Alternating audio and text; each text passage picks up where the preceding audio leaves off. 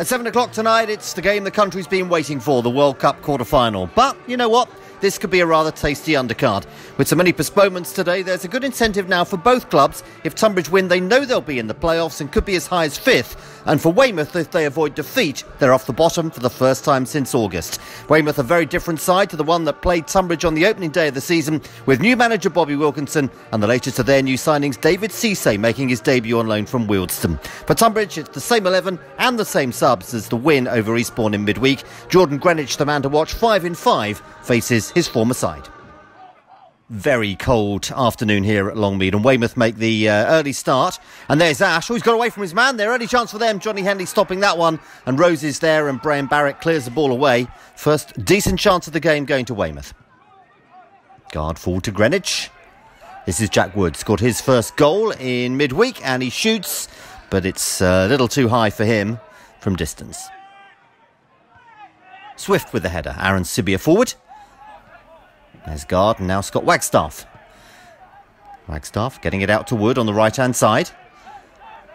He gets across in. It evades Greenwich. Guards at the far post. It's in the side netting. Well, only just evaded Greenwich, who's looking for his sixth goal of his loan spell. And here's Weymouth going forward on the uh, left hand side. This is Ash, does well to get away from his man.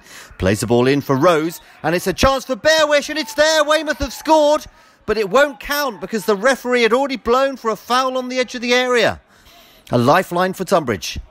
Here comes the ball in from O'Connell, and Rose heads it in. It's a goal anyway for Weymouth. They take the lead. Akeem Rose with a header to give the visitors the first goal of the game on 23 minutes. Tonbridge nil, Weymouth 1. Well, it was a very good delivery from the free kick from Keelan O'Connell and Rose rose above everybody else, if you excuse the uh, mix up of words, and in it goes. 1 0. Well, there's Ash. Nice little back heel from him. Blair, right hand side, plays it in. O'Connell, too. Well, it's the second goal in what, three minutes for Weymouth, and a beautiful volley coming in from Keelan O'Connell, who set up the first goal and got on the end of that confidently. Lovely cross from Tom Blair, right hand side, and there was O'Connell who got in front of Tariq Hines and gave Johnny Henley no chance. Tonbridge nil, Weymouth two. Who would have thought this after midweek? But here's Greenwich now, trying to get a bit of respectability back on the scoreline. Going forward for Tonbridge, gets across in towards the far post. It comes to Golding. Oh, he just took a little bit too much time and it was cleared away by the Weymouth defence. And Sibia Wagstaff goes in. Foul by Wagstaff on Rose, says the referee. And that'll be a free kick to Weymouth. And Wagstaff can't believe it. He feels he got the ball. And the referee has a card in his hand, and Scott Wagstaff will be the first player cautioned in the game. There's a nice ball there from Blair. It's headed out by the Angels' defence. And Jack Wood oh, always giving the ball away there. And there's a little ball in the middle there. It comes to Ash. Round about six yards out. Oh, lovely finish. It's three. Well, Tonbridge will have it all to do in the second half, and it looks like Weymouth are going to go in at the break with a three goal advantage. Brad Ash converting past Johnny Henley. Where did this Tonbridge performance come from? And looking at Weymouth's league position, where did this performance come from for them? Lovely little finish there from uh, Brad Ash. Great control, firing it past Henley. Tonbridge nil, Weymouth three. Well, it's going to be a difficult half-time team talk for uh, Jay Saunders to get these three goals back. Here's Ash on the uh, left-hand side now for uh, Weymouth as we approach the end of first half stoppage time. Oh, he's going in through. He's going towards goal. Rose lays it off for him. Ash with another strike, and it's four.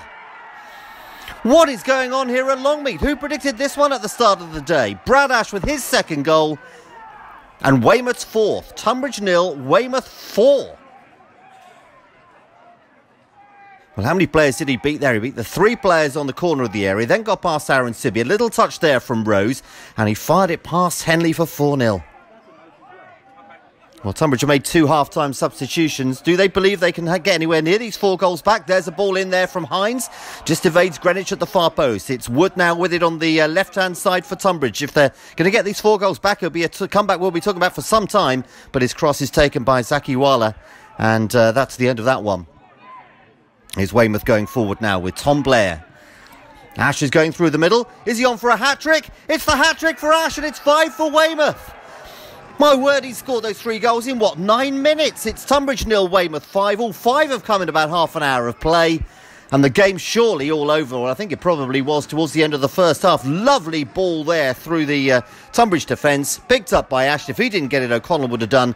And Ash puts it over Johnny Henley for five. Well, on this performance, it's hard to really see how Weymouth are bottom of the table, and I don't think they're going to be there for long. In fact, well, they will go off the bottom with this uh, result today. Now Tonbridge trying to go inside. Oh no, Weymouth are going to start another attack. And Sonny Miles got to be careful, and Ash is going forward here.